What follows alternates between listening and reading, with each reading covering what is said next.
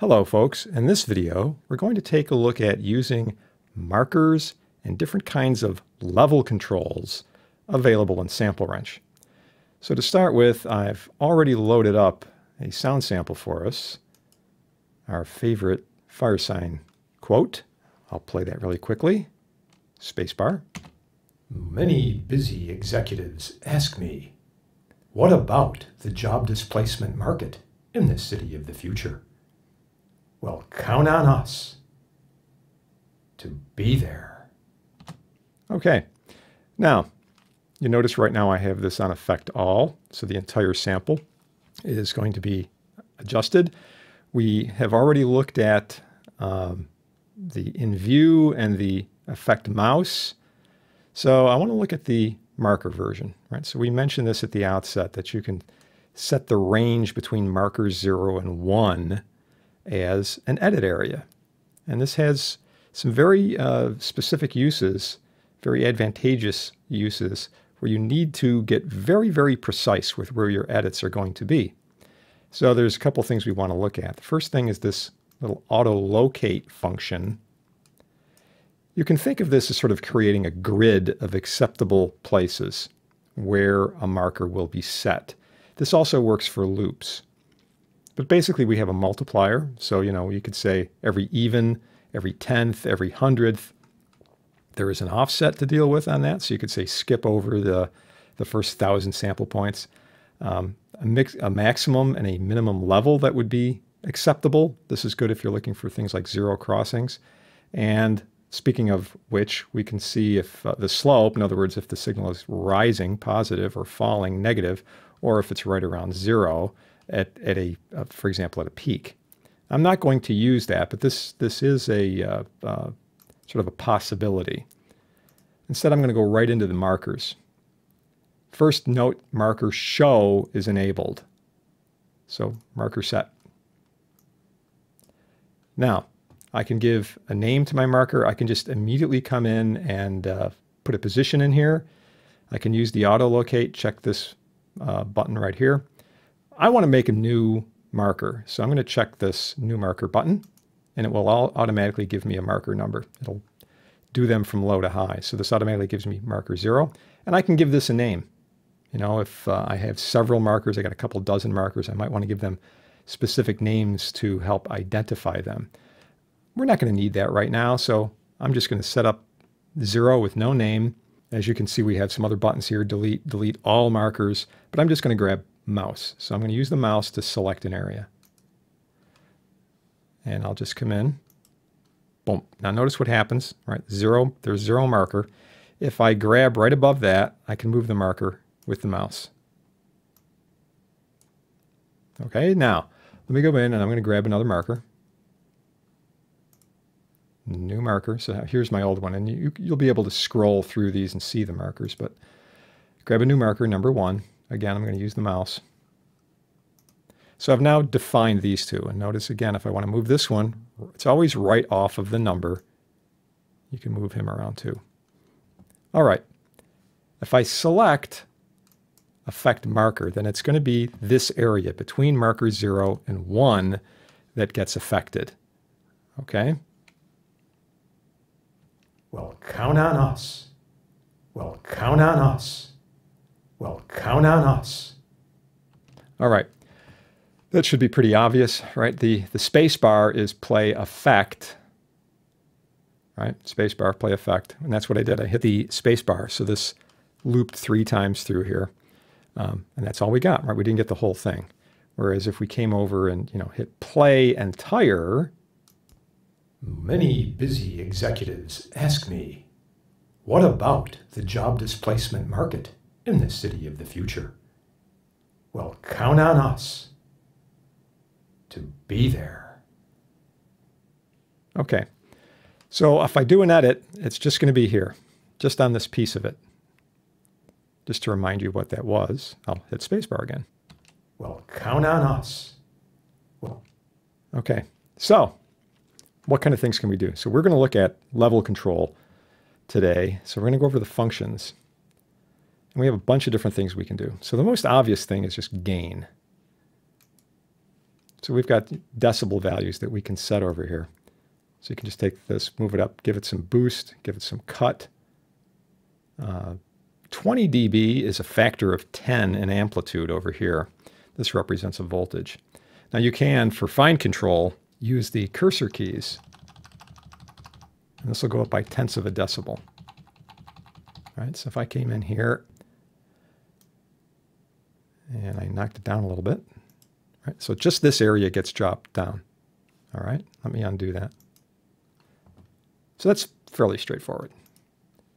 Now we can also do a maximize. So this will look for the highest possible signal in that range, in the effect range, figure out what the gain needs to be, and everything gets multiplied by that new gain. So there's the peak right there. So it's right below 100%. And this entire thing comes up. We can also come in here and scale to any, right? That's this is a normalized thing, and this is a percentile.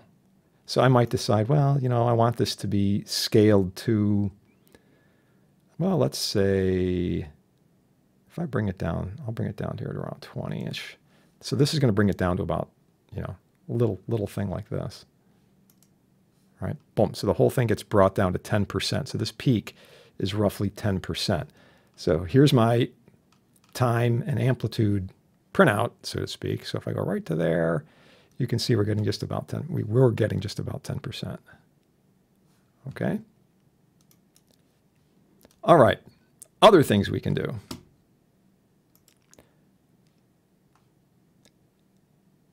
I've got a compressor, I've got an envelope generator, and a noise gate. Now the compressor and the noise gate are kind of similar in the way they work um, so that we can have a better idea of what's going on here. I am going to uh, go back to effect all so we can see what's happening on this whole thing. Um, it doesn't matter if these markers are here or not because, because we're in this mode, it's sort of going to be ignored. We can get rid of them if you want. Okay, let's take a look at the compressor.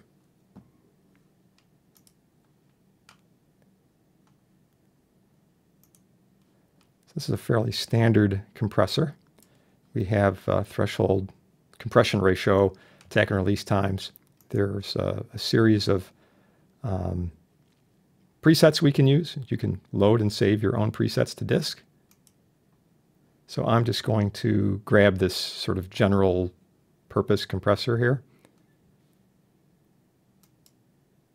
And you can see that there were some changes in the amplitude. Right? Okay. Um, makeup gain, if you're familiar with most compressors, they have a makeup gain. Um, makeup gain is not on that compressor because you have the level controls, and you might, when you're done, want to do something like um, like a normalize, you know, for percentage. So that gives you a little bit more flexibility. And if it's something you're always going to do, you can create a macro to do that combination. So it's it's all there. It's all possible. All right. Other things you can do. Um, envelope generator is pretty wild. So you basically draw what you want your gain curve to be. So this happens to be a fade in. So plus 30 dB minus 30 dB. So this is going to fade in the signal. Here's a preview button. You can listen to it. I'm going to just do it um, so that you can also see it as well as hear it. All right, so you notice how this is obviously reduced in amplitude. Many busy executives ask me, what about the job displacement market in this city of the future?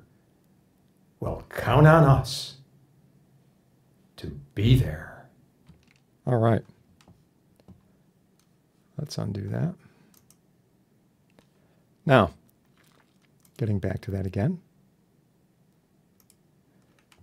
There is a, a unique function in here called trace. And what it's going to do is create a coarse outline of your signal right? This is basically the sort of gain characteristic. And then you can invert this.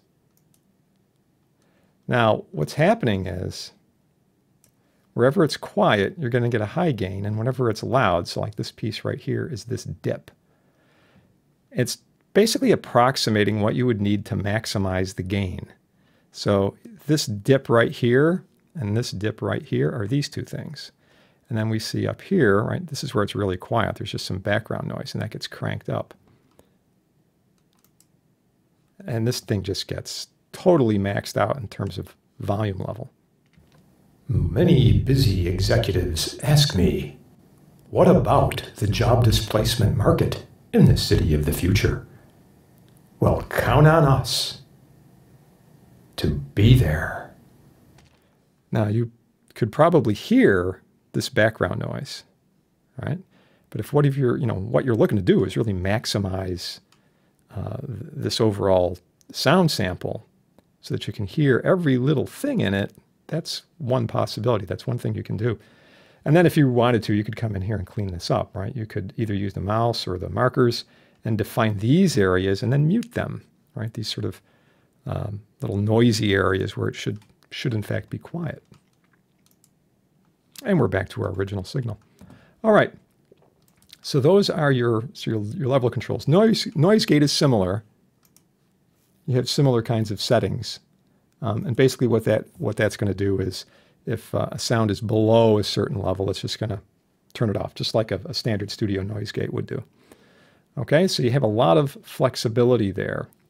So now we know how to use markers and we know the basic level controls.